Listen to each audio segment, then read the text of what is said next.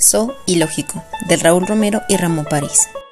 ¿Cuál es el animal más resistente? El rinocerompe.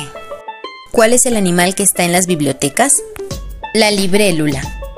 ¿Cuál es el animal más ladrón? La mariquita. ¿Cuál es el animal que más arde? La ardilla. ¿Cuál es el animal que desaparece con el susto? El hipopótamo. ¿Cuál es el animal que abre puertas? El llavestruz. ¿Cuál es el animal mejor vestido? El elegante. ¿Cuál es el animal que está volteado? El escarabajo. ¿Cuál es el animal más dulce? El chocodrilo. Mm.